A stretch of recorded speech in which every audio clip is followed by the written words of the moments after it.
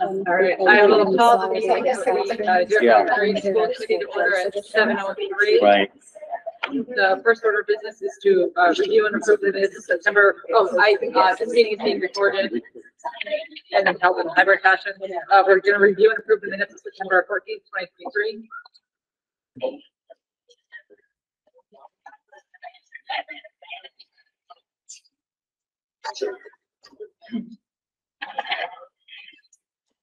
Make a motion to approve.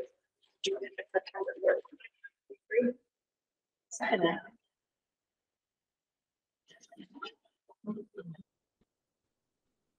There's notation, all in favor of approving minutes? And I would say, okay.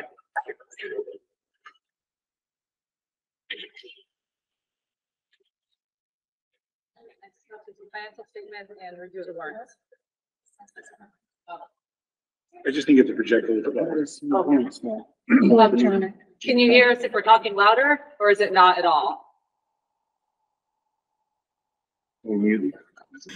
We can, we can hear you, but it's really garbled, like we're hearing a lot of background noise.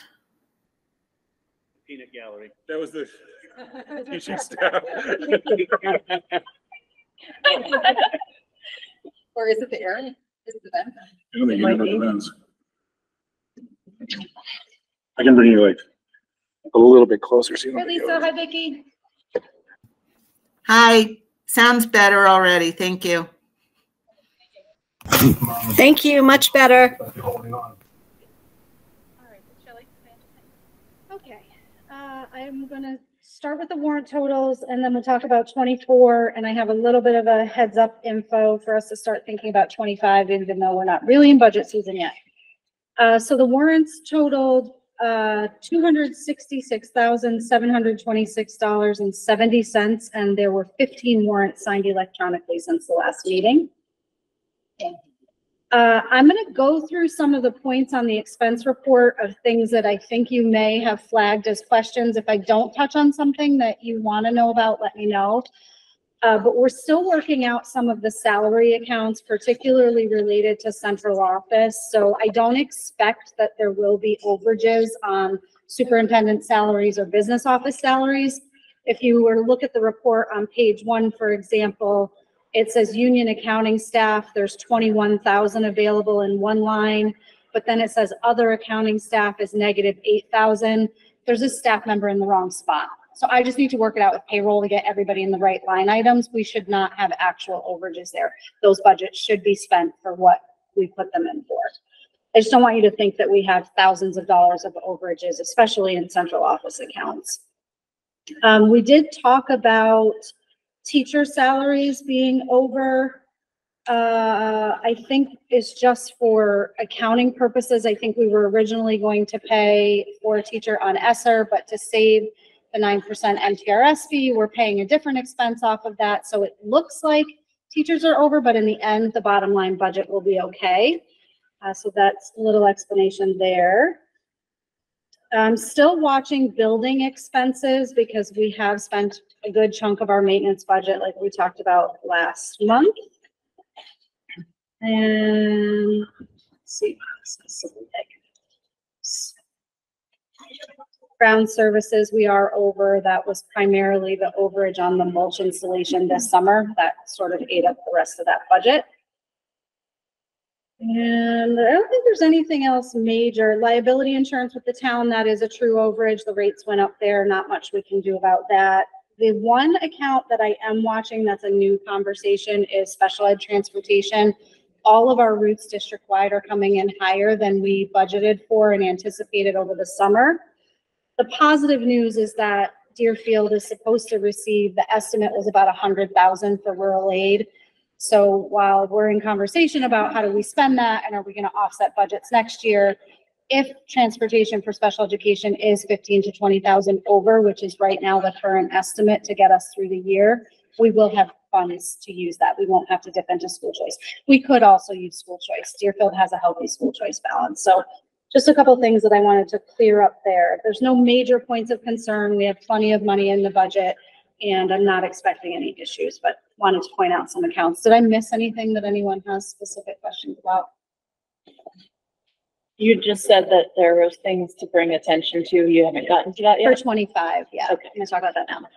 Um, so we won't do a budget presentation. The first draft won't get done until January. Uh, administratively, we'll start thinking about it in November and December, and then January we'll do the first presentation. But, uh, Darius and I, or at least I'm already in budget mode, thinking about, um, things that we have to plan for first steps in the budget building process. So, uh, COLAs, steps, column movement, teacher retirement, so sick buyback payouts. These pieces are gonna hit Deerfield pretty hard this year. We have three retirements that are gonna have to be paid sick buyback in fiscal year twenty-five. I did some rough estimates today. I think we're probably looking at seventy-five to eighty thousand dollars, and we only budget for thirty. So that's gonna be a significant talking point for us. Uh, we have four staff making column movement, so that's important for us to be aware of in that not only are they getting the step increase and the COLA, which is typically about five point three percent, they're gonna see column movement as well. So that raise for those four staff may be seven or eight percent, depending on where they're advancing to. So I'm just bringing these up because it's all going to escalate our budget. If, just as a reminder from last year, wages alone were over a three percent increase for fiscal year twenty-four. I'm expecting we're gonna be well over that. And then we are gonna have some challenges to work out, particularly related to sick buyback. Um, longevity request is something that I also look at. I actually think Deerfield's gonna see a little bit of savings in longevity requests because we have a couple people coming off of that four-year cycle of longevity that they get in the contract, or three-year cycle, I'm sorry, they get four thousand for three years, um, once they request it after fifteen years of service. So there's a couple of teachers, this is their third year, and I think we only have one new teacher coming on. So that'll help us offset some of the column movements, but I'm particularly concerned about the sick buyback. You know, uh, sixty to eighty thousand is over one percent of our budget, so, and it's not a recurring expense. I think Right. Deerfield does a really good job of holding thirty thousand. One teacher, maybe a teacher and a half, or a mm-hmm. teacher in IA that typically covers. Three is a significant number for us to, to come up with funds for, so we'll have to have conversations about that. I just wanted to get you guys mm-hmm. thinking about it now, because I think it's gonna be a- another more challenging budget season for us. And just for clarity's sake, that's when folks don't use up their sick time and they get paid for it? Right, so the contract allows them two days per year of service, and then there's some additional things if they've been in the district for over ten years. And So it's that they're at their healthy? daily rate of pay upon retirement, so. Well, there's usually, just as a former state employee, there's, there can be a huge lag between like when pension actually starts to pay you, like three to four to five to six months. So oftentimes that can be what people actually have to live on. Um, so, you know, so, or municipal, I mean, I, you know, I'm not sure if it's in particular, but I think sometimes that's, it's left out, like, oh, they get this money, and then, but then there's also like four months of living without pension. So with, when they retire, typically you'd be hiring three new teachers at a lower That's the goal. goal, but it's hard. to It find hard, especially when the applicant pools are small, Right, Yeah. which we're facing district-wide. Yeah. okay. And even veteran teachers are moving districts. We're seeing, you know, teachers coming in with 12, 13, 14 years experience. Right. Yeah, it used to be, uh, you couldn't move after your seventh year. You would be almost unhireable. Um, and now it's an open market because of supply and demand. It's not enough. Yeah, So the thing I people was, retiring. oh, I'm sorry. No, go ahead. I was just thinking that I was looking at it in terms of like hoping it wasn't that it was vacation time people weren't able to take and then therefore, so if it's, you know, No, there's no vacation time in the teacher contract. We would pay vacation time. Um, if it were an administrative or secretarial or custodial employee, but, um, it's sick time. Yeah. Those are the- I just had a question, just more like vernacular. I think I followed most of the phrases that you, what's the column raise versus like a step raise and how does that all? So, uh, as teachers advance their education, so state requires a minimum, right? You can come in and get a waiver, start as a bachelor's, but you have to get a master's within so many years, and then you can go to master's plus fifteen graduate credits, plus thirty, plus forty-five. I forget what They've this moved it. contract has. So plus Four- four or forty-five, I don't think you have columns, thirty though, right? Fifteen, you have thirty, but you don't have fifteen. Yeah, there's one, yeah. Yeah, somewhere. Frontier doesn't. Okay. Anyway, so as they gain more graduate credits, they can do column movement. So they have to apply for that. They basically submit notice to Darius that they are going to complete X number of graduate credits by X time frame, and then it gets applied the following year. It's smarter teachers. It's Yeah, smarter it's, teachers. it's a great thing. Yeah, it is a good thing. Yes, it is. Yeah. Our own budget, good for us. That's all I have. There's no questions on the budget. Move on to principal's report. Yeah, first, um, welcome back, but actually I missed the first school committee meeting, so it's good to see everybody and it's great to see you again, Trevor, Good to on see you the too. committee with us. Yeah. Um, So we're off to a, a really good start. We hit the ground running. Um, I have the instructional, so two members of the instructional leadership team with me, uh, to present on some of the initiatives that we're doing right now. Um, I know Jillian, I said that you would start, but now I'm rolling, so. So some of the things that we're focusing on is that we really follow the work of the research of John Hattie, who is a leader in educational research and meta-analysis and talks about visible learning and the effect size. What are some of the strategies that give us the most bang for the buck, if you will, around impact for student learning? And um, one of the things that struck me personally over the summer is I was listening to a podcast where John was, uh, John is my buddy now. Him sometimes. Um, he was, he was saying that, you guys can't sit across from me and laugh. Okay, thank you. Um, so he was, he was mentioning that one of the biggest, uh, obstacles in education isn't bigger class sizes or test scores. It's really our ability to be courageous. And you may not know what teachers have to go through to be courageous, but when you're sharing your data in a data meeting, and they're, they're kind of holding that as like, they're feeling responsible if students are not able to achieve and grow. And that can be, or even just some of the successes can also be courageous. So we're really working on put, uh, practicing a courageous mindset and putting, uh, different plans in place for us to uh, even just kind of, um, rumble with it a little bit. So we have our data meetings where we workshop problems around like stalled learning or, and that could be on the higher end of things where students are already exceeding, but how do we continue to make them grow? And on the um, lower end of things where they're stalled and, you know, we, we're not able to kind of move them along. So we can workshop collaboratively together. Another thing we're working on is classroom colleague collaboration. Um, which is getting into other people's classrooms and being open to inviting somebody in to see what, what we're doing or what we're feeling like we're good at, or just saying, hey, can you come on in and look at this? I'm wondering about my pacing. Uh, we have some new curriculum that Jillian will uh, speak to. So those are some of the things that we're really working on as a collective um, team. I know Jillian, if you want to go next, or Jillian. Hi Hi. there.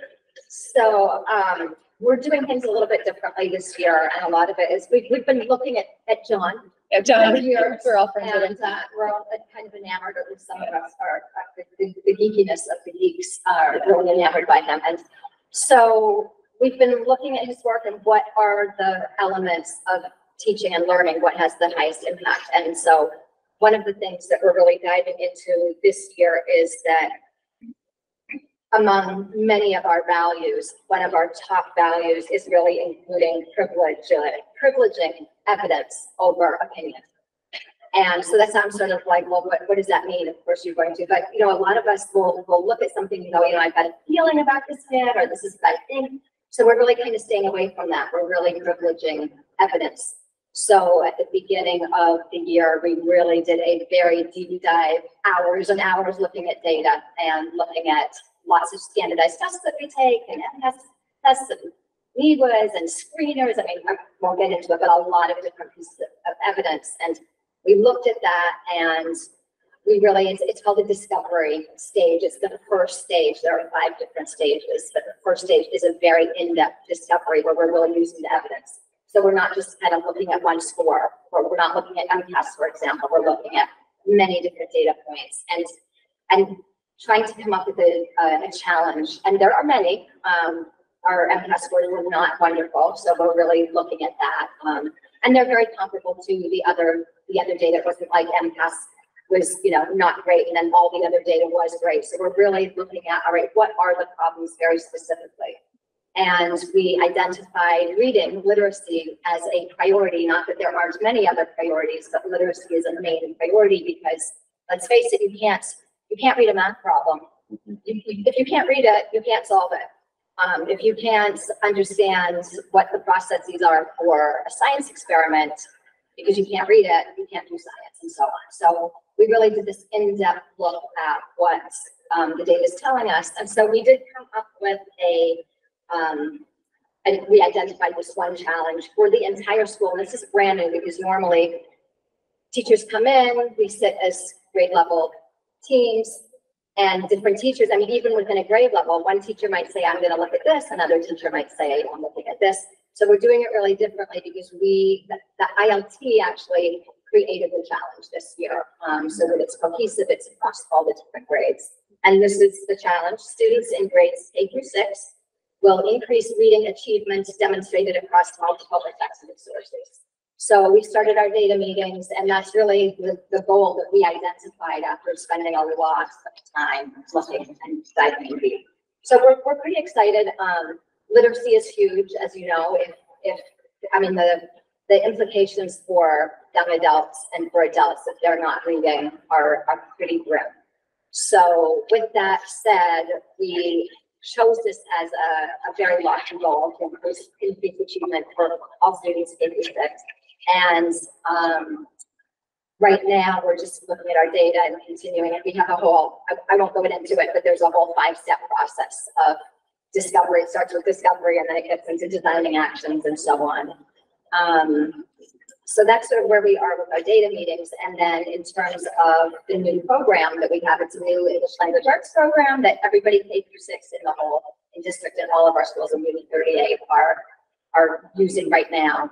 Um, it's, it's hard and it's rigorous and we're, we're pretty, I think a lot of us are really excited. Um, it's taking a little while to get used to it because it's, it's just very locked. I mean, you should see the manuals. It's like, it's, it's a lot.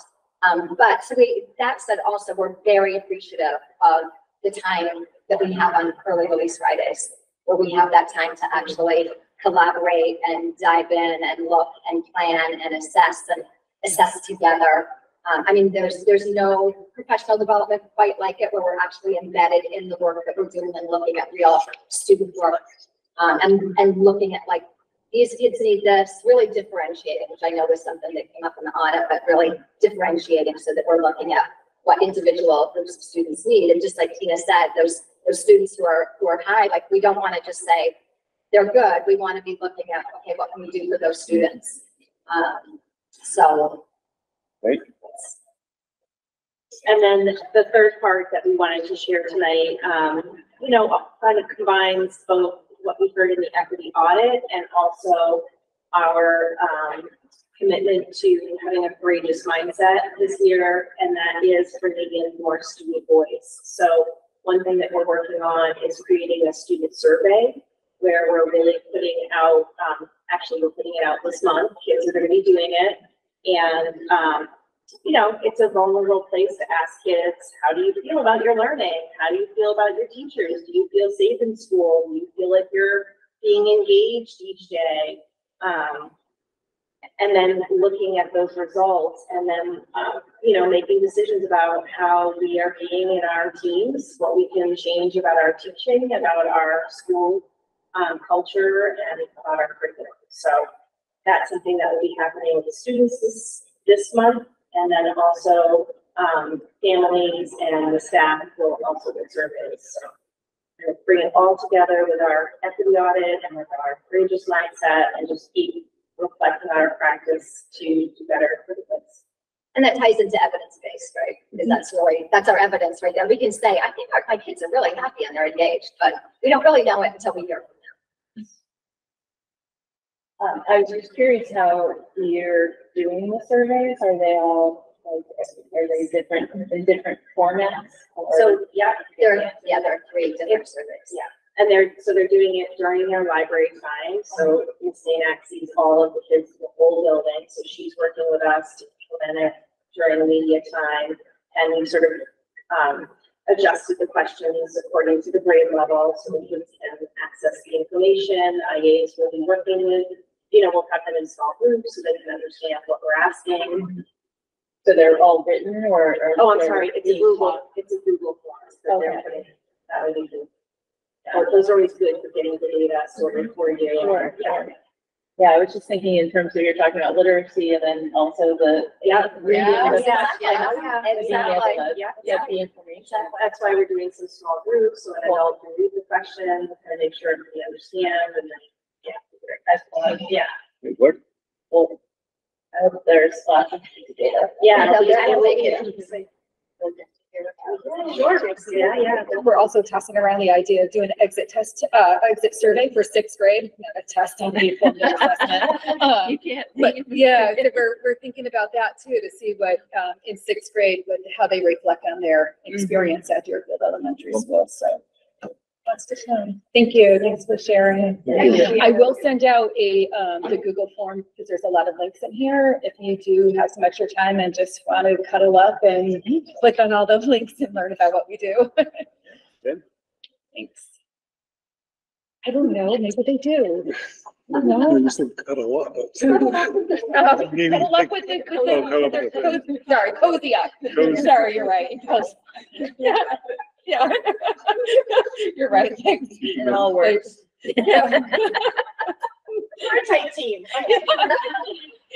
We look like dating over cuddles. It's, it's that. Trying to improve our ratings. You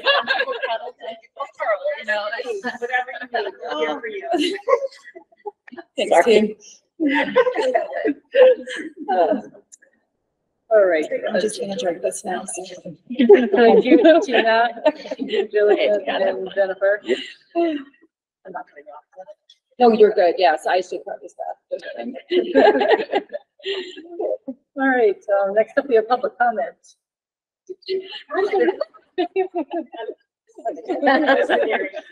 All righty. Okay, next up, uh, a follow-up to the equity audit presentation, equity audit presentation on nine twenty-eight, uh, in the discussion. So, uh, first of all, um, at the meeting, there was, we did not have a quorum of Deerfield and Frontier and someone else until after the meeting started. So the agenda had us reorganizing, but we did not reorganize. Um, we chose a chair for that meeting only, and we will reorganize at the next meeting. Mhm. Next time we get together, Yeah, in the spring. Or, yeah, you might have to get it before that. Um,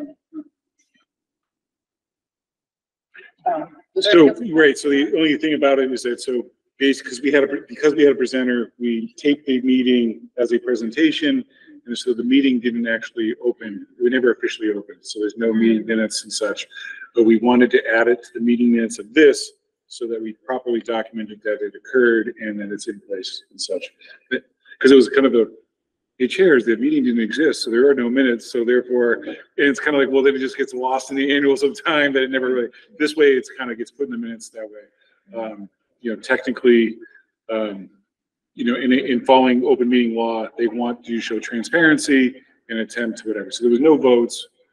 It's recorded, um, and that kind of thing. So I don't think we're in any, any violation and such, but, um, this way it's in the minutes now that the meeting occurred and, and such. And a recording is available. Uh, so the presentation, it was a thirty-minute presentation with about an hour of conversation afterwards. Erica, did you have questions about it? Um, Anything I you was, wanna Cover? um, mo- well, mostly I, it's great that there's the, because I was unable to attend, I was, um, just sort of curious if there were any particular issues that, or questions that came up, um, and that, you know, were eye-opening or anything like that, but I can also go and, and read, you know, watch the presentation and see, does that include more than the presentation? Does it include all of the discussion? the Okay, all right, or I, okay, good. Um, I mean, I can wait until, I don't need to repeat things that are already been, um, been asked, but yeah, in general, I was just curious to see how, you know, it's, I didn't want to miss it, and so, to make sure I knew what happened. No, I thought there were a lot of good questions. The, the presentation, he, he put a, um, a positive friendly spin on it. I felt, um, he the, he started off by acknowledging that it was deficit audit, so it- Right. the audit was a list of where, where we're not quite meeting it, but he said it, especially in retrospect, reviewing later on, we felt that we were doing pretty good. Mhm. So that's nice. I think what struck me was the, um, need to focus on the needs of, of low income for sure, Mhm. because that was, was an area that really, you know, I guess it's across the whole district, mainly AP classes and stuff where Mhm. uh, some don't have the ability or opportunity or uh, however, they're just not getting into the AP classes as much, um, and other areas that the town could work on, trying to make sure we have wraparound services for people to make sure that all people have an ability to get a good education, have that space to do it, time to do it. Um, I mean, there were, there were a lot of other things too, but just, that for me struck out, stood out to me that we need to work on that area for sure. I also, I'm realizing I, one of the things, uh, in general, I don't know if they addressed it in the meeting, but my overall from reading the audit ahead of time, I was curious if they had specific advice for the school committees in terms of what we should be doing to help promote, because there was talk about like strategic planning and the vision, um, seems like, you know, I was just curious as to if they had any specific points, um, for us to, um, consider and work toward as, um, as a governing body. I don't think he, the president, presenter gave anything in addition to what was already in the audit. Okay. So this, yeah, there are a lot of And did that question come up at all, or? Yeah, it was Yeah. asked, it was, it was asked, yep, for sure. I will say, Read. from, from my perspective, and I would be interested in maybe, I don't know if this is the time for us to be talking about it, but what became clear from my vantage point of how important the elementary school from a young age to support kids, not only to ac- access equitable learning, but I think this is sort of where we come in. And my interpretation was especially early childhood learning is so important and particularly getting kids young. And so when we're talking about funding for early childhood mm-hmm. stuff, which at times can be underfunded, I think it hopefully will give us time to pause and really mm-hmm. think about as a committee is, you know, we need to be considering it from an equity lens. And really, is that where we should be slashing? In my opinion, probably Right. not.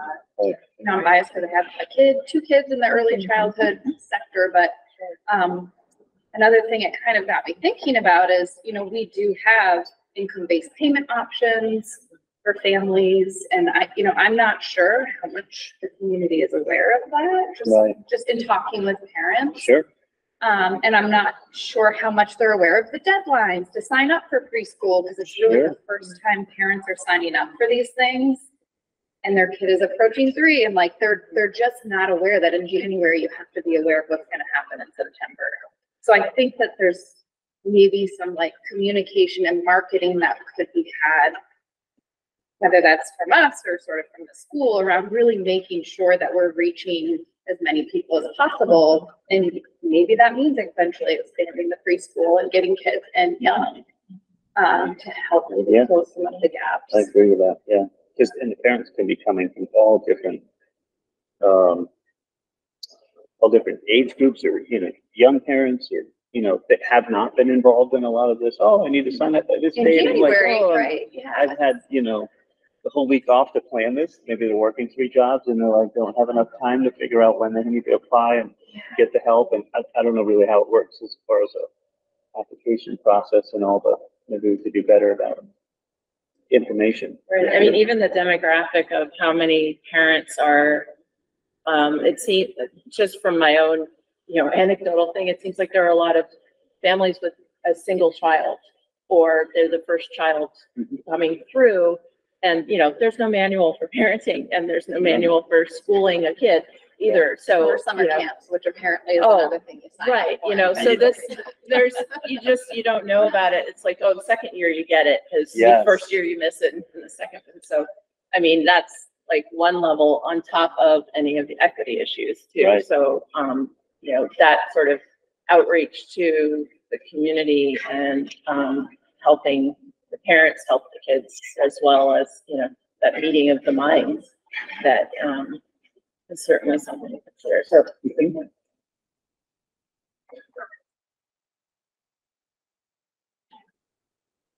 All right. Uh, next up, we have, uh, the, uh, first reading of policies, DJ, DJ, and DJ.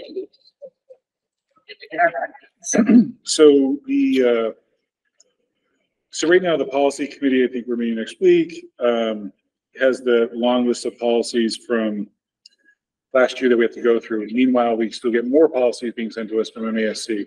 And this particular set we received in August, and, um, I put it on the agenda because it is very straightforward. It's the law. It's about, um, purchasing, um, and procurement requirements.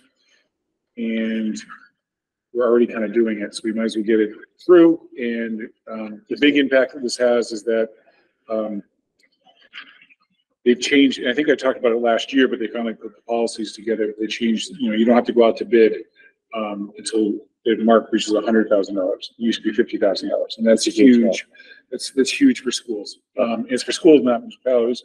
I Um, know. but I think they're trying to give relief to schools, um, that don't have procurement officers, which we do not have. Shelley is, um, the official badge.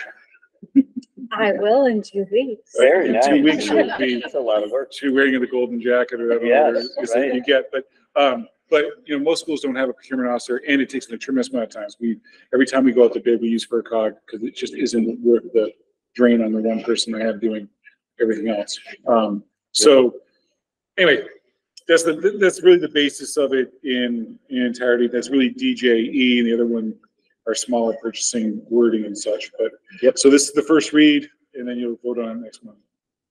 Good.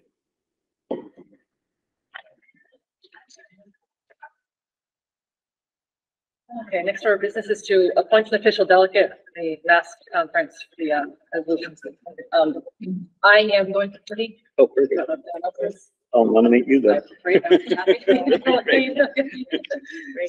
Alrighty, uh, I will appoint myself Sounds as the good. official delegate. You- Um, and while we're here, i- in the packet is the, uh, resolutions for that, if that's the. Yep.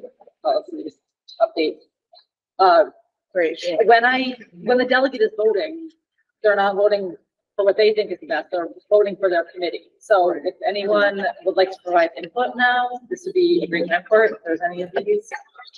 Um, for people who haven't been, like, some of these, some of these I've read and I'm like, I don't even know exactly what they're trying to say here, what the benefits are. They, they do have, but each one is introduced and there's a discussion of each. I have found that very helpful in the past. Yeah. Um, so you're not necessarily voting on something that you read and don't fully understand, so. Less confusing, yeah. So if anyone has something, I don't know if you had a chance to read through these, I, this afternoon, I was like, oh, I should have reminded everyone that we would have a conversation about this, but I was somewhere waiting to have service, and I didn't send an email, so apologies.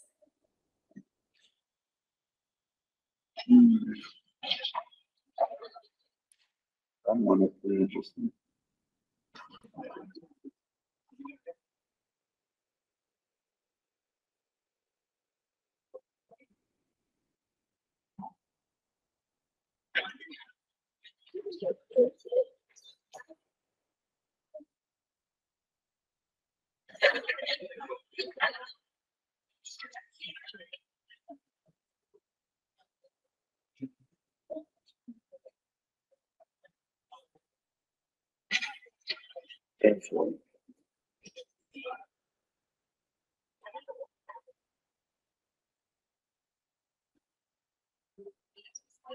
Anyone have any spot opinions or things they'd like clarified or questions asked? Let me get that time. I'm just looking at the one about transportation, trying to get, wrap my hand around it. Um, The, the regional. Uh, Or just procuring and bidding? Right.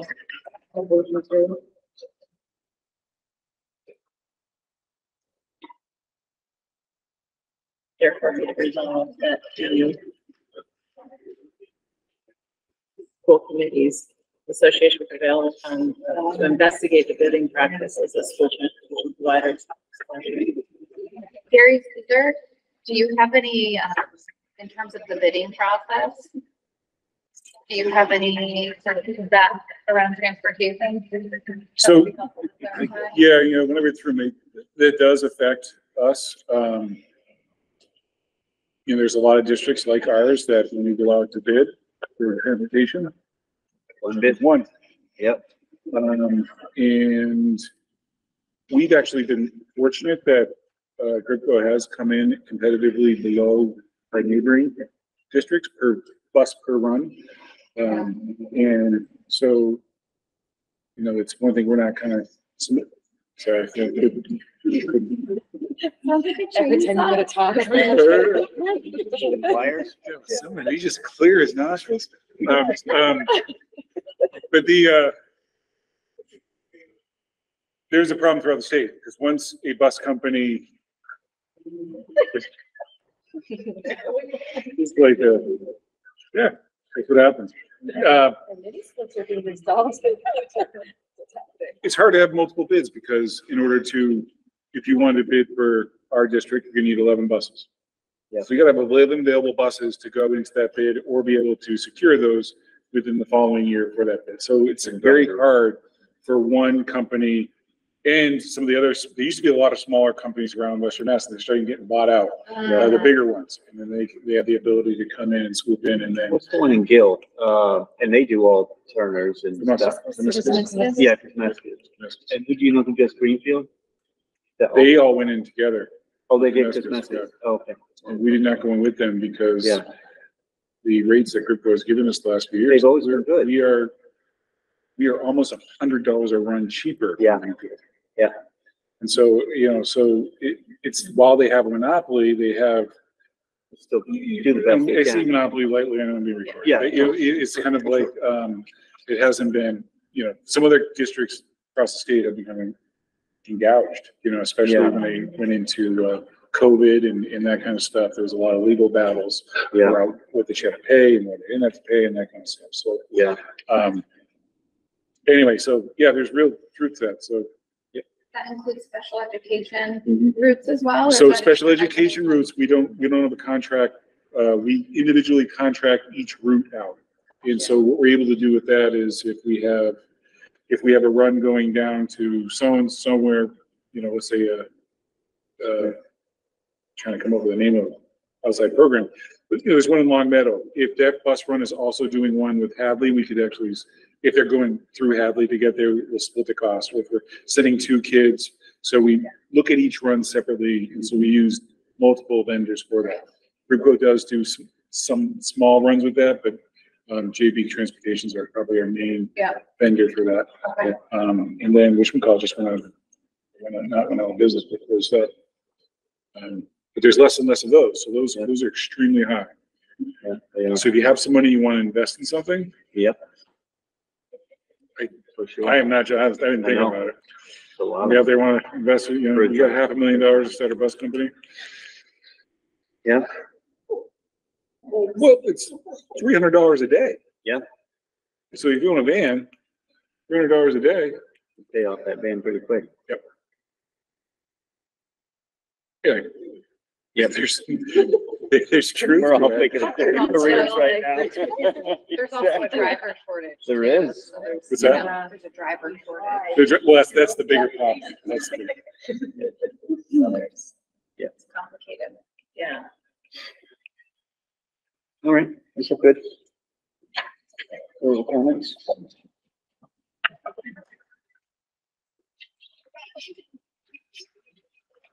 Anything else? Yeah. Comments or have any? Alrighty. Um, uh, FY twenty-five capital projects, initial discussion. All right, so I sent out a digital file. I also, uh, made a couple copies for our people, people. I printed out Frontiers. Well, it's- You follow along, Jennifer. Jenny on one? I- A lot of math on there. It's getting late. All right, um, for those who haven't seen this before, everybody's, I think, seen this before. The gray is the stuff that we have completed. Um, the blue is stuff that we're working on, and the green is proposals for next year. Wanna Uh, pull it up? Oh, yeah, I'll share it. Oh, okay.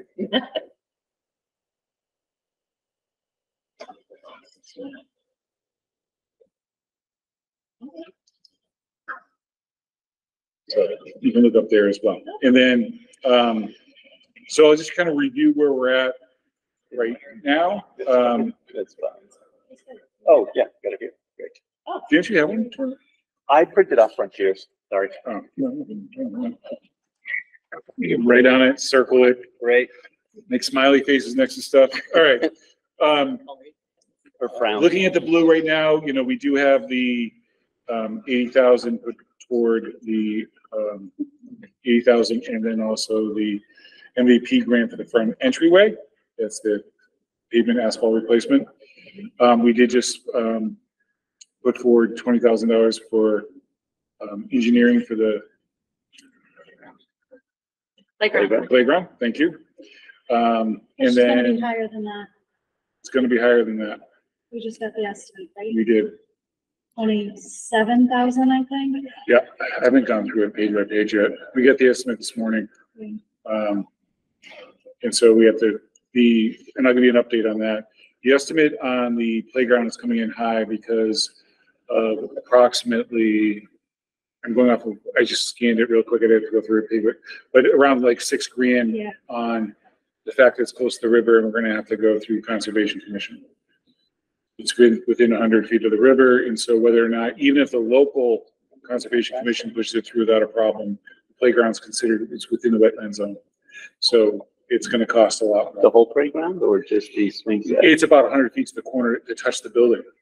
So the building is like just outside of the wetland zone, We must so have just a good missed that majority last of that time. is, what's that? We must have just missed that last time, that whole step. Uh, every- It's all volunteers. Just a bunch of volunteers. Um, however, the playground is there. They don't expect a lot of problems, Yeah. but, you know, they're gonna wanna see, um, because the structure's already in place and that, you know, improvements, they said actually would probably be easy to do some plantings and that kind of stuff, and that's what they're gonna wanna see. Yeah. But My there's more quick cost there. look through it today, I think their rates are comparable to other playground projects we've done with the exception of that six or seven thousand dollars it was for. So they came in close to the twenty thousand we thought it was gonna be, and then Conservation. that number on top, Makes so, um, But we approved up to thirty. we did up to thirty. Yeah. We did up to thirty, but it was kind of Yeah. disappointed. At Yeah. that meeting, we did no more than thirty. I said you should put a cap on it, remember? Okay, I remember that. Um, but you guys will have to sign off, vote and to accept them, that contract, right? Or we've been signing up. on that. Did you sign here? We approved the minute. We're going to do it.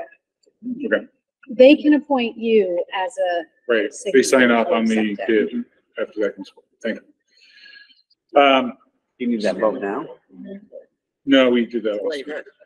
You approved the money to go forward. Yeah, we did. To get scope of service. For the but signature. did they appoint you to sign the contract? Right. So I will send that off to everybody as soon as, um, like I said, it was received this morning, so. Yeah, Um, once we sign that off on that, I'll send it out to everybody. I'll send it out first, so you can look it over if there's any questions. Um, and then the front entry project is combined with the asphalt replacement project. Um, probably be putting the same thing, it's just a different funding line to match the grant. Um, I see. and then we're gonna get into the green here. There's a lot here, um, and we put it in order of administratively what the recommendation is. Um, to continue the flooring upgrades, to finish up those projects of the A-wing. Um, we need to upgrade our BMS. And so the BMS is our building management system. And quite frankly, we're running on a very old system that is having trouble keeping up with the, um, not trouble keeping up, It's not, It's doing, but Yankee work is going really well though. what's that? Yankee work is going really well. We're getting that stuff done, right? We say, don't stop for a minute, don't stop for anything. Right. Um, So a, building management system basically is, you know, each of the rooms are calling for energy, heat, and eventually we can tie in the cooling to it as well, so that we can manage it from one location. A building management system also can, can manage your, um, alarms for walk-ins, um, lighting and that kind of stuff as well. Our current system is very old. If it does go down, we are in deep trouble because they'll probably basically have to hotwire the system in order to get it to run. Um, the- it's about thirty years old, it's running on Windows, and there's no longer any upgrades, um, available, um, to go forward. I mean, the system is very, the, uh, Frontier's in the same boat, and Sunderland's in the same boat. Frontier's computer actually broke down, and they had to get a computer out of the basement. We were fortunate that we saved a few to run Windows, to run the software that is no longer upgraded. Um, so we are on a time frame there to get that done. This, the price of thirty-five, about thirty-five, thirty-four thousand dollars um, is also contingent at Sunderland doing it as well. Because we said, if, what if we do both? Will you give us a better deal? And they said, this is if you do both schools at the Okay. same time with the Siemens contract. Um, there are, there are different companies out there. Our company cer- currently Siemens is control, equipment is in the building. So we're kind of stuck going towards Siemens unless you want to do a full overhaul and spend a lot more money. Like, I think it was like over a hundred thousand if you wanted to go away from Siemens and go to, although he said CTC wouldn't work in this large of a building. Um, but I mean, there's these big companies that do management systems, but Siemens is one of the, is one of the bigger ones out there. Um, Sunderland, and Sunderland would be on Siemens as well. right, I was just thinking, you said if they do it at the same time, is If they that do it at the same likely? time. Is, So What's that? So, is it likely? that they'll do so it? I had been, a couple, two hours ago, I did- gave them the same information. So they're in the first phases and then they're gonna find out what it looks like capital wise. Um, so we'll see. If it doesn't, if they can't do it, then we'll go back and negotiate with them. What does that really mean? Is that a few thousand dollars more? I can't imagine it's more. You know, Yeah. So round up to, you know, maybe forty thousand at the most, if, you know, it can't be, they're not saving us tens of thousands of dollars just because we go through them. That's just the panel or is that all the sensors around the Controllers and the everything. controllers and everything? Yes. Oh, okay. Controllers and panel. Um, More reasonable than Frontier. what's that? More reasonable than Frontier. Frontier bigger. Yes. And it's a different company. And Right. it's a different company. Yep. Yeah. Um, So Okay. It's also important because eventually this doesn't include putting the AC units on the BMS. Okay, that's gonna be another thing that we're gonna go through on. I also have had light conversation with the Energy Committee about, is that something that we can get grant work for? Because it is actual money savings, because Right. right now our heaters boom up and they shoot out. If it- we- What are we, you know, we have rooms that are too hot. Why are they too hot? It's because the sensors are not reading and sending it Right, properly. right. And so, um, And is it just replacing the, the management system, or do you have to do electrical upgrades too? it's the system itself. They don't have to do the, the lines to the, the s- things, but they gotta replace basically the thermostats and all of them so that the, the sensors in the rooms are up to the new code as well. So, um, it really is a, you far, you have far more control if you can regulate, you know, we, Sure. instead of regulating like four or five degrees, you can regulate within one degrees, you're saving money. Yep. So it, it, you know, there is some energy savings there. Um, and s- as well. Uh, replace phone system. Do you want to talk a little time? Put that on you. What's going on there? So, um, our phone systems right now, we can't add any more lines to them and to even purchase the phones is, is a trick. They don't make them anymore. So we're usually on Amazon trying to see if they have some that are resold. Um, we also don't have caller ID and that is a problem if we have people that are calling in and we want to know kind of what's happening as far as the safety risk, um, assessment there. And, um, I think those are the bigger pieces. Like if we don't, we actually can't even add another line. So if there's another room that needed a phone, we can't add a line to it. Do you remember when we last did them? Did we do them recently? Like in the last, Not since I've been here. not since you've been, You know, Okay. Frontier did them. Maybe that's something. Frontier did theirs, Conway did theirs, Yeah. just to make, mm, Sunderland, Conway's on the list. Conway's doing theirs now. Sunderland Sunderland just just finished theirs. theirs. Okay. But so they're basically, That's fine. And I think Whately's is relatively new also. I think Whately's the home girls. Oh, wait. Everybody online must be going, what is going on there? fix your phone. That's the phone in the other ring, room ringing. Son here. Um, Okay, that makes sense. it also puts it on visual system as well. Yeah. Yes, It's yeah, All right. thank you for that. Um, and then the next is continue the AC phases. Yeah. Um, this would be phase three of the AC and the rooms listed there. Um, basically it's nine thousand dollars each. However, if there's a rebate next year, Right. we have to budget as if there's not a rebate. And then, um, if there is a rebate, um, the town was very generous this year to have that pulled back in. You have more to do after that? Just to entice you a little bit, um, if you get all of those, that would be all the classrooms. The new that- classrooms. The, the main classrooms. Yep.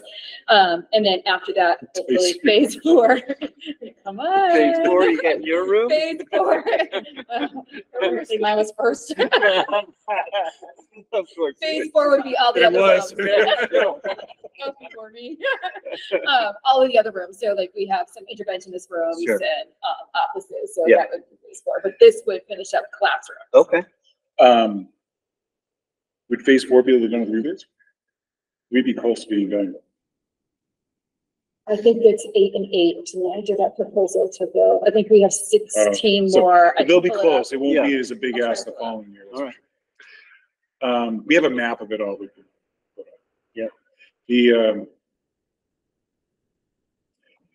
talk about the video cameras, but also know that you don't have to talk about, um, you don't want to share, But don't I want to like, share? You don't want to say like, hey, the cam, there's no visual to blank during the day. You don't want to say that. Just, just, so you don't, you don't talk about security breaches when you talk about security. So really, nobody can see now. Um, we're looking at increasing, um, just our overall ability to pick up outside Yep. and inside. Okay, That- perfect. Different, a- different And areas. the technology is, I mean, the technologies we've added over to Frontier, they want to bring over here as well with the three sixty cameras. Yep. You can basically cover all zones very quickly. So we put them on the corners of Frontier. Yep. And now you can basically see, eh, we can follow somebody walking almost all the way around the entire building. Very nice. And the same idea here. They have outside cameras that can do different things, but Yeah, to be able to have full coverage. um, Yeah. follow, yeah. And, and again, that's, we don't have, um, it's, it's secu- security. It's better than security, it's better than alarm systems. Yeah. If you can see everybody sure. coming and going. Yep. Um, and then playground, playground, you know, obviously right now we're looking at the engineering and then the question about, uh, those are just some older numbers based on what, we'll wait till they come up with the concept, but I will we go think to that this CPA? could get switched from ones though, because the report says this would not be done until at least the summer twenty twenty-five, so this isn't an immediate ask, which we just found out Today. in the report today, so. But would, uh, would you want to get the process going for hearings for CPA early? So it would be their budget for next year, Yeah. so we could go to them as No, it a, would be their twenty-six budget. it'll be the twenty-six, they're gonna be working on twenty-five. Okay. So we got a So little Tina doesn't even know this yet either, I don't even wanna look at her and say it's gonna be another year. Yeah. They said there's not enough time to do the engineering and conservation work that needs to be done to get to do into- it next summer. Cause summer. basically, convers, yeah, conservation takes. So they would takes start months. listening right in January. CPA would start listening in January. Okay. We had hoped that we would be able to start working on Got the it. applications, but. Okay. So, um, I think maybe, um, I think especially based on last year's working with CPA, they probably, we need to do a little, um, repair work there. I, I think I probably will go this year, just let them know What's we're coming planning in? for next year and Yep. um, as they look at recreation funding. Right. If they're, you know, looking Okay, for, if they know there's a, maybe it'd be a two-year project in the sense of funding, we maybe get a little bit more. Yeah. If, if they have nothing on the ballot Right. this year. right, Um, okay, Can I skip back to air conditionings? There, we need sixteen more for the, okay, we did eleven this summer, so we would need sixteen more to finish up. the eight and eight, okay. So phase five, then phase four was other either. It's eight. Eight, and eight. So eight next year, eight the year after. Right, but that's priced, that's priced at nine thousand dollars each With no. with no rebate. rebate. We You get might forty be able to percent get- rebate back, so just go easy math, you're getting four grand per back, so. And then you rebate again. So it really, it only really rebate. costs five thousand dollars. So you really, you do that math, Why we did eleven. So what's good last year? right, so how many, you know, five goes into seventy-two. Fourteen times. Mm.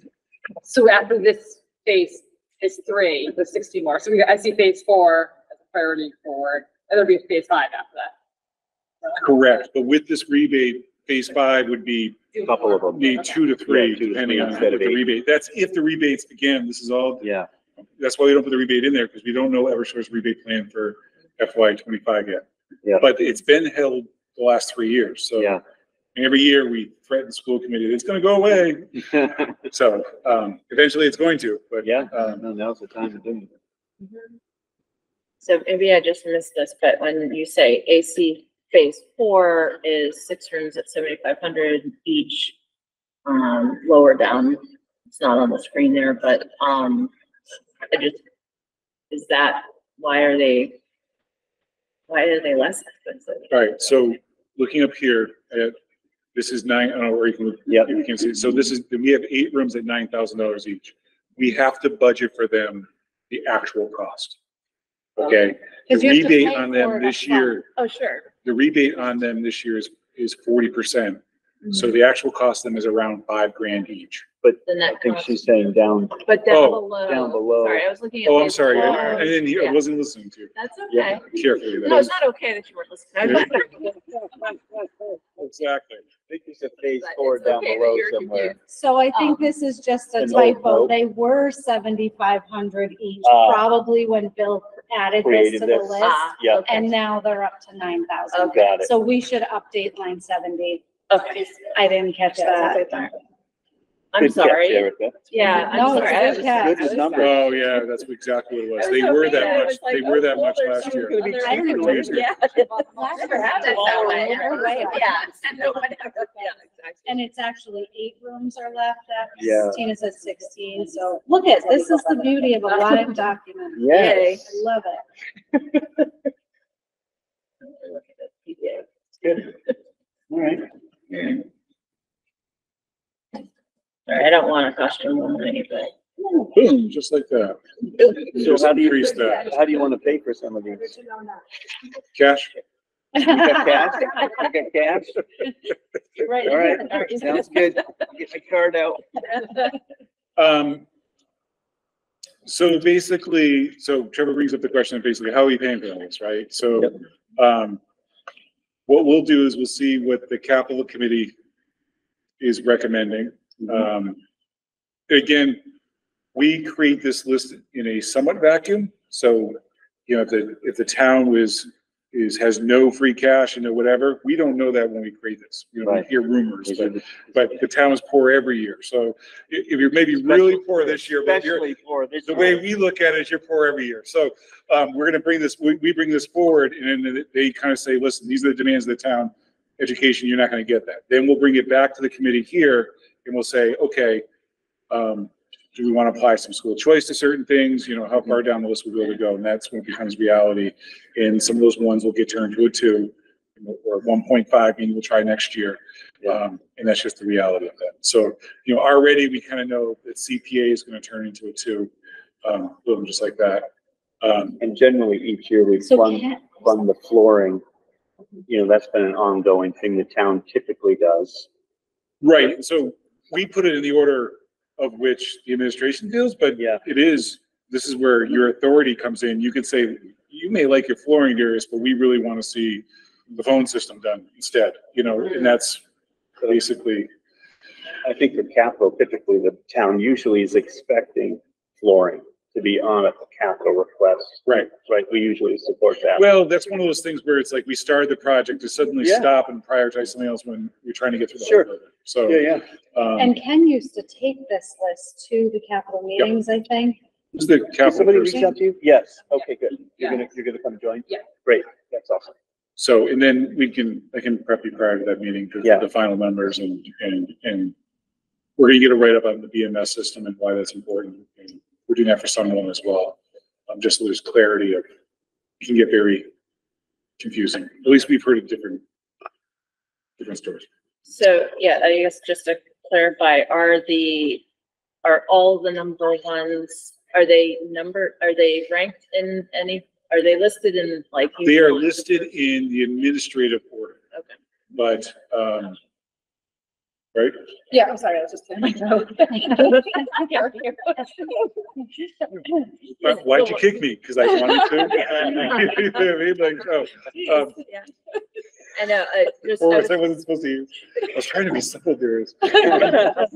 Um, no, I was just thinking that, um, when Tina was mentioning, uh, you know, video surveillance and the phone system, the security aspects of those, Mhm. um, seem, I mean, obviously you don't want anyone getting hurt because the carpet, but how much, yeah, how, I guess it's how much is that an, um, a, a, a physical risk versus the security risks of so that's, the, that's, they shall not be named. right, right. So that's why we, I guess you have to say, it would be higher on the list if we said, we do have cameras in the building. You know what I Oh, mean? yeah. So it'd be higher on the list if we felt like, you know, was you know, security there's no, the security is the number one concern because of these, these kind of things.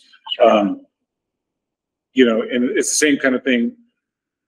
You know, one could also say, teachers who didn't get AC, we could say, can you skip the flooring and give me the AC? I'd rather have Oh, that. yeah. But there's also like, you know, we have a project about old carpet getting out, air quality, you know, that kind of stuff. And, you know, this is, you know, you gotta, Yeah, I mean, that's why they're priority one, right? so that's why we, that, you know, we can justify it. There's maybe somewhere you could argue and you could say, okay, you know, you know, we, we would back off. Um, No, I would certainly, I don't feel like there's any that should be taken off of that. It's just that if you have to say, okay, next we're doing this, um, It's, well, and it's possible, I know that knowing, hearing about the town's finances. I live in towns, so I can make jokes about it. Um, the, uh, Five million dollars, just so you you're know. just five million short. Stop. Um, World of hurt. we may not get to all our wins this year, so there might be a reality. So We might be actually having that discussion. Is everybody confident with what we're moving forward? Um, and how we're gonna do it? And maybe there'll be, and also, looking at that, is there grants and stuff also possibly Yeah. available? You know, and that's, like the BMS system, you know, um, I'm, I'm hoping that maybe there might be some, um, re-energy kind of things on that. I don't know. They really want to see energy savings.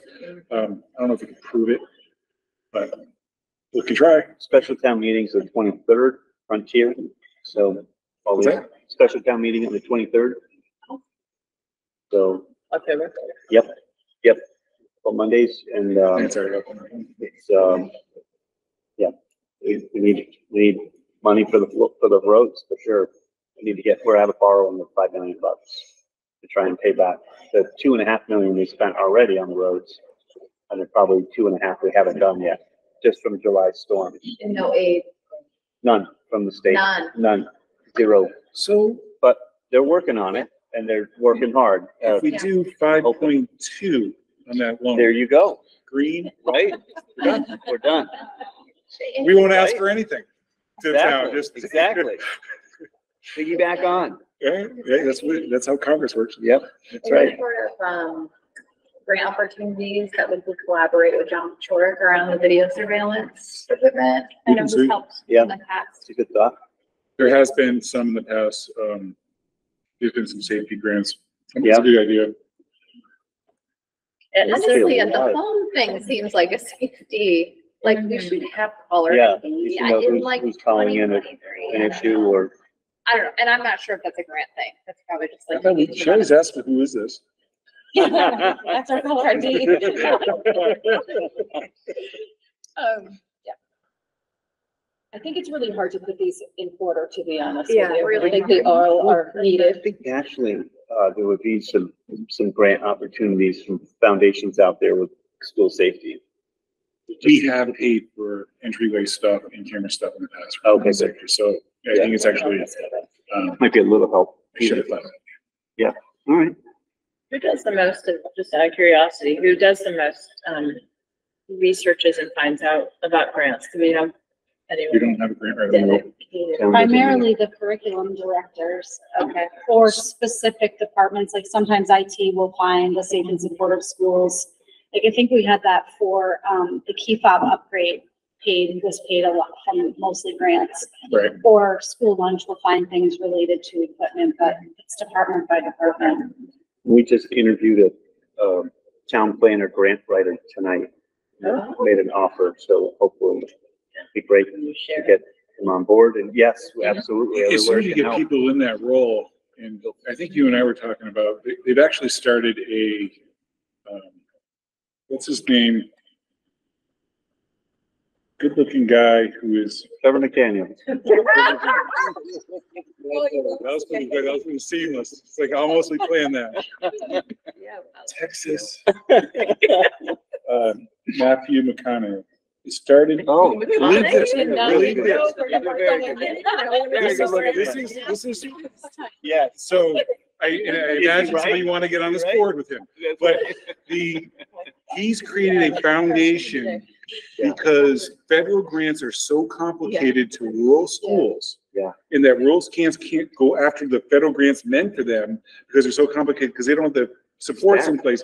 That Matthew McConaughey has created a foundation Awesome. to support, now this is really, he's talking, he's from Texas. I- you know, Yeah, he's always yeah, been yeah, Texas for thing, sure. So, but so there's rural schools out there, like, and so he's trying to, I, I just found it was interesting, like, that's mess, it's like, you That's can't do your own smart. taxes anymore. You I gotta, know. hire- we can't get federal funding because we don't even know how to do it. Right? I just thought it was like how messed up the system is that you have to have a foundation in order to get federal money. But Yep. I just got that email the other day. I should have, forwarded it. Yeah. just because, you know, math. I was going to Right. ask why you know this strange information. I, I should have forwarded it to you because Matthew was on the cover of it. That's right. Sitting with children. It is deep voice.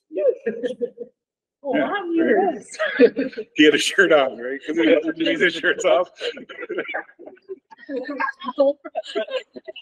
Ooh, huh? All right, well, it's definitely after eight, time to bed. All right. We're getting punchy. What's in all those trees? It's just a hint. All right. We are a good bunch, right? This is a fun, fun group. You wonder why one didn't want to come back here? You should schedule these for seven o'clock. Oh, okay, why do we, yeah, why do we go five o'clock? You so serious? Oh, boy. This is why you're like this. This is like this means. So Sure, are there any questions? Nope, nope, moving on. No. Do you have a superintendent's report?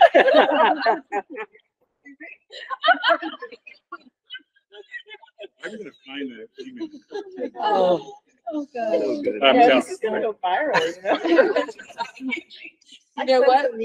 I think we're gonna have a lot more, uh, uh, applicants for the school committee position. I You're think so. I think so. This is fun. You all gonna wanna be on with us. Yeah.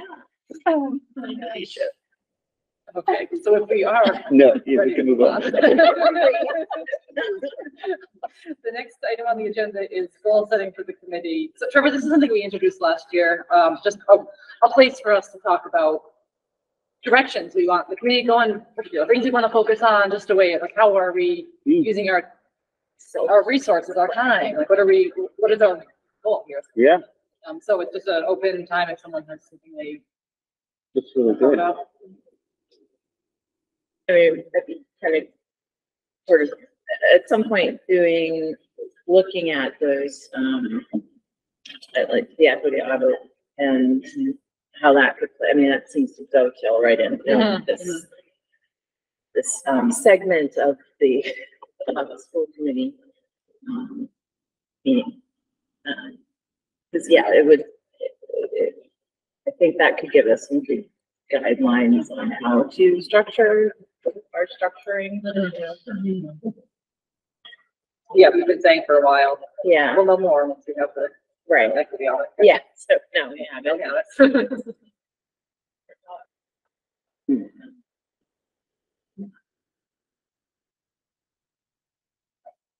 Yeah. Yeah, yeah. We will get into it.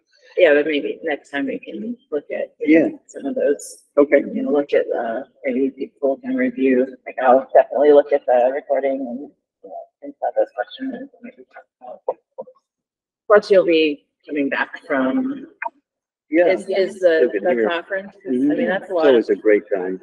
Yeah, Get a lot of, you know, shot in the arm, good stuff, hear a lot of Yeah. good things out there. and it was my going last year that kind Mhm. of made me feel like, you know, some of those things I brought back from that was about trying to look at our, um, how we, how we operate, so. So maybe, um, like next meeting, we stick this at the end so they could give reports and go and we could talk, yeah. you know? Spend a little bit more time at the end of the meeting Yeah, where we're not holding up staff to true. do what they want to do. I mean, you're more than welcome to stay, Yeah, but usually you guys are running on to another meeting or Right, something right. like that. So yeah, no, that's a good point. we have our time to do Sure. everything. Sounds good.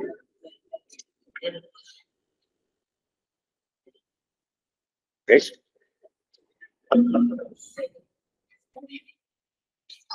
I just sent everybody the link. Thank I- you. I don't want I to can't think wait. that I was out of my mind. Just wanted to. I want you to be like, wow, he thought of that in the meeting. That is impressive. I can't wait. So it's in your email. to read it. I can throw a little picture in there just to keep it, just because I couldn't just send an email. Oh, I included you, Jen. 'cause I- Thank you. Yes, I just wanted to make sure that you were part of this. see how to get these. Oh, yeah. All right, yeah, reports. Okay, uh, the chair has no report. Uh, collaborative, um, I emailed everyone the Yep. executive director's summary and, um, Denise Storm, I think it was, uh, from Conway. She suggested at the last meeting that wouldn't it be nice if we had an even briefer one to share with our school committees, because it's eighteen pages. Not everyone wants to read it, um, so he did his best and got down to four pages. So if you just want to quickly skim through something, that's the one you want. Uh, and very briefly, uh, we had a presentation on a project, Beacon is the name of it, um, that has been piloted. They've been running for three years now out of Greenfield, and they're now working with the collaborative, and it's a project to reach high school juniors and seniors who are on the verge of dropping out, kids who have been coming to school, but just are struggling in the classes. So it, um, they have, I think, do fifteen students a year, um, and are, have been working on graduation rates uh, often going on to secondary, uh, to the college, uh, school after, uh, high school, and, um, working with them on entrepreneurship skills as well. for those who are interested. So it sounds like a great program. They're working Yeah. collaborative now, looking at the potential of expanding further to Franklin County in the future. So Right? it was an interesting presentation. All right, superintendent's report. Um, I have no formal report, but, uh, two just quick add-ons. We did a, uh, four-town safety meeting last week, just to let people know that we continuing those. We have three plans scheduled for this year, so all the police, fire, EMS, state police get together at Frontier with the four towns, of the four towns and principals, and we go through our safety uh, measures with them. Next meeting, we'll probably do, we, last year we did tabletop exercises regarding evacuation. This, we're, unfortunately, this year we're gonna be doing, uh, active shooter. Um, but we go through that and then we also break up by each town, so how each town would operate. And as I said in other meetings, it- this translates to other things that we have to do sometimes. Um, For instance, there was a rollover in ninety-one of a, a gas truck or something like that, and we, we had to be evacuated. It's the same kind of procedures, that- that- where are we going, how are we getting there, how are we organizing people, how are we releasing people, that kind of stuff. So, um, anyways, that kind of work is, and it's kind of a check-in where each school, including the private schools, um, come in, we, we all talk about, um, keeping these things on the forefront, even, um, when it's not always there. And then, um, the administrative team today, um, did our first ninety minute of, first ninety minute of three trainings on bi, on biased hiring practices. Um, it was a really informative, uh, meeting and interactive about you know, what we do to I'm not interrupting. well, you're on the administrative team, you're on the call, and then you went, um, um, and so, uh, it's, it's- it's good, so looking at, you know, what our practices are, and not just within the hiring itself, but then what kind of community are you creating to keep employees, um, uh, the word was belonging, you know, get belonging after they're hired, and how do you do that? So, um, and it wasn't looking at all diversities, um, that an employee brings from different backgrounds and, um, to more. As you see on the profile base. So, Do you Liza Talusan? You're very familiar with Liza Talusan? She was the, one that did it. She's really, good. she wrote the, um, Identity Conscious Educator. book. It's great. Thank you. And then, uh, Yeah, that's all I got. Right? I can't just put it on that. Um, That's the end of our agenda. Everybody looking for a motion to adjourn. Make that motion. I second. All right, all in? All.